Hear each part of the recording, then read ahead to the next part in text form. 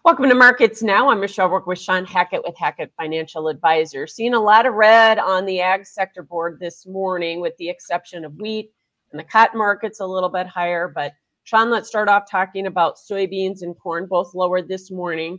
Soybeans obviously have been getting a push here with some China business, maybe some South American weather concerns, but setting back today, is that some profit taking? Did we run up into resistance or are we just squaring up ahead of the report? Yeah, I mean, it's some profit taking. We have this report. You know, no one ever really knows what the USDA is going to say. Even though we've gotten some business from China, we obviously need a lot more to really get too excited about it. Um, even though some private estimates of saying that the soybean crop might have gotten a little smaller, I doubt the USDA will be willing to say that in this report. I think they're going to be perfectly comfortable keeping the yields where they're at and giving another month to look at things to maybe make some changes. So I just think when you still look at it, you know, the, the supply side of the equation remains heavy, and we're not far enough along in Brazil weather planting delays to excite the market just yet. I think we need to get into October before we could see weather become a driving force for the soybean price. Yeah. So let me ask you about you said you, you don't think USDA is going to make many adjustments in terms of yield on soybeans have we already priced the biggest numbers in? If we get a flat yield, does the market keep rallying? I don't think that's basis for rallying. I think we my view is that the August lows in grains that we made likely was the the, the, the price level that traded the largest supplies, at least on the spreadsheets that we're going to trade for this crop cycle. It doesn't mean it's up, up, and away, and here we go, but it means that we've we've sufficiently priced all of that and then incrementally, we're going to start probably taking little pieces of this supply off, and the market will start to work its way higher, grinding higher, two steps forward, one step back. And I think this is the one step back to the two steps forward that doesn't feel great, but the market start makes gradual, slow headway until we can get a better handle on the nature of what's going on in Brazil and if this historic drought is going to really carry out into mid late October, which could significantly impact yields on soybeans, planted acreage on soybeans, and obviously yields and uh, planted acreage on second crop corn that gets planted behind it. Yeah. Now, as far as yield, you know, that's very hard to determine on soybeans. So, what's going to be the main determinant, do you think, here? You know, crop ratings coming in yesterday, actually a little bit better than expected and they've been high pretty much all season. Does that you know equate to these high yields record yields? We're going to have really good yields you know i'm i'm not really you know in the camp that says the yields are way off base. I mean i don't think there's anything that says these the soybean yields are going to be anything other than really really good. Um and that's why i'm saying is though i don't think i don't i don't think we're in a zone where they're going to be dramatically higher than where they're at. You know like like to me, to get yourself more bearish than everybody was in August, you'd have to feel that you know we're really good, that we have another major notch higher in yields to go. And I don't really see that. I, I don't really think that that's going to be um, what we're looking at here. I think we've settled into where we're at. And the question is, can we get demand going to get some of this ending stock overhang in the soybean market down so that it doesn't look so daunting on the historical perspective, you know, on the stocks to usage in the U.S., the stocks to usage uh, globally. You know, I just think that, that that's what we're going to be looking at is just taking some of that overhang off, going into what could be an historic dry planting season for Brazil soybeans. Yeah, and I know after the last uh, WASDE report, certainly there was a lot of talk about ending stocks on beans being above 600 million bushels. So hopefully we have that programmed in. What about corn? What do we have programmed in there? Do we need to see yields stay flat or do we need to be under 2 billion bushels on the report on Thursday to get the market to stay where it's at even?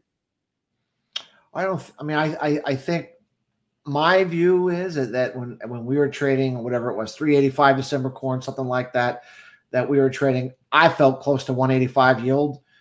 I don't think, you know, we're too far off from where we are right now. I don't think the yields are going to go up much. Um, they might have come down a little, but uh, for the most part, I think we've traded the highest ending stocks. And in, and in the way I'm looking at demand, this continues to be better. Um, harvested acres, I think, need to keep continue to come off here. old crop stocks probably need to continue to come off here. I believe we're going to see corn ending stocks in the U.S. come in under 2 billion bushels by the October release of the WASDE report.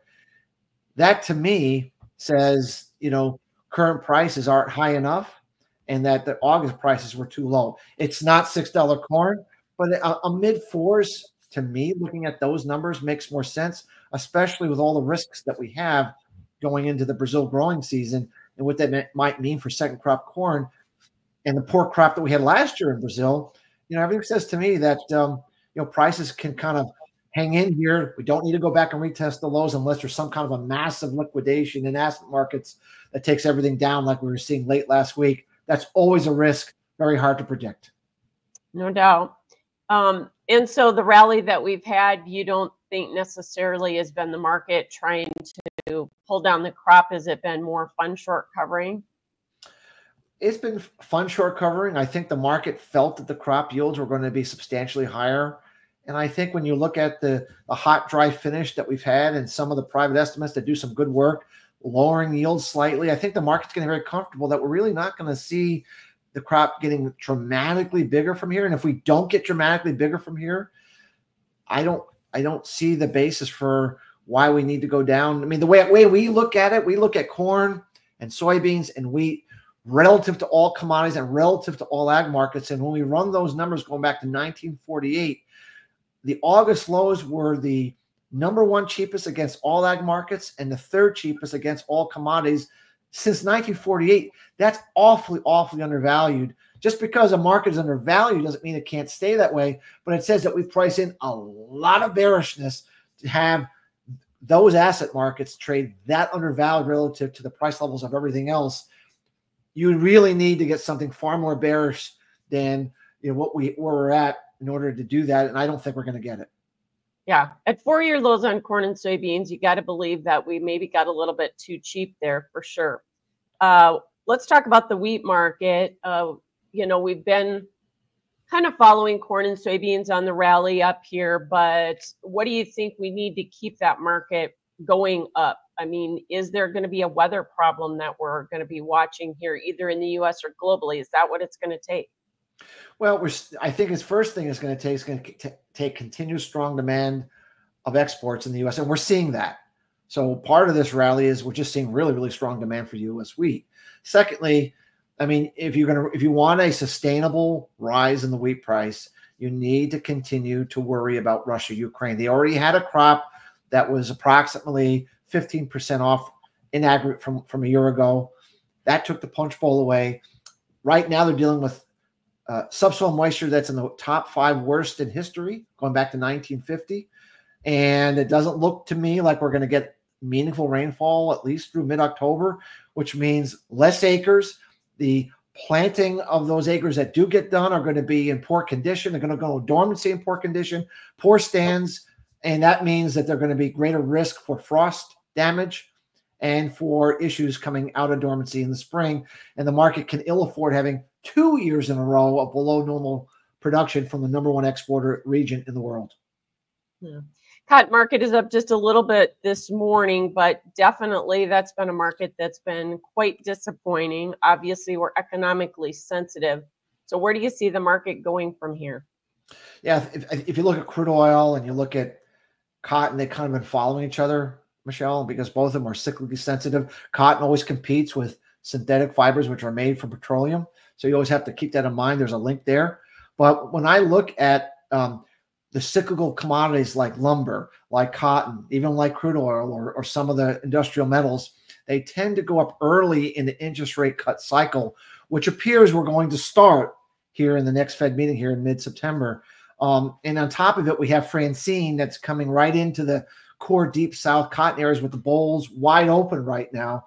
And, you know, we don't know exactly how that's going to look. It's supposed to make landfall tomorrow afternoon, but it looks right now, based on the track, that we're going to have some significant damage for that uh, deep south cotton uh, acreage down there, and and that's going to make the crop smaller and the quality reduced for what the demand would like to see from U.S. cotton. So overall, you know, it's been a little bit of a disappointing market, but I do think this market has potential to go higher on weather and on the expectations for improved demand based upon Fed rate policy. Yeah. So since you mentioned the Fed rate policy, they're meeting next week. Obviously, we wa- we're watching and anticipating a rate cut. But you've got that. You've got the election uh, coming up. The stock market has been very volatile. Does all that continue to churn here, and what impact could that have on the ag markets? Well, we already saw, you know, late last week we had one of these convulsions, and the grains got hit, and everything got hit, right? I don't think we're done with that. I mean, if you look at some of the policies that are being thrown out there by both sides of who are going to be our next president, you know, it's a lot of uncertainty of what that means to exports. What does that mean to monetary policy, fiscal policy? What does it mean to the economy? Um, I don't think anyone can look at that and say that they feel comfortable with the pathway forward. My view, you know, Michelle, is is to just make sure you're you're co- you've covered yourself into the end of the year. If you need to sell at harvest, if you know you have to sell, you have to raise cash, do it. Because I just don't think anyone can navigate what's going to happen here into the end of the year with all these moving pieces. And when you have that much uncertainty, I still believe a bird in the hand is better than two in the bush um, until we know more. Now, once you know who won and who's going to get in and what their policies are, and you can gauge it, well, that's different. But until then, I'd want to have, I'd want to bring some money home on the farm and protect myself in case there's further downswings. We know September and October historically have been not very good for asset markets over the years. Um, so this is a, a dangerous time for further downside potential that can take grain markets down whether that's fundamentally correct or not, it can do it anyway because speculative capital sells anyway. Thanks for that advice. Uh, that's Shawn Hackett with Hackett Financial Advisors and Markets Now.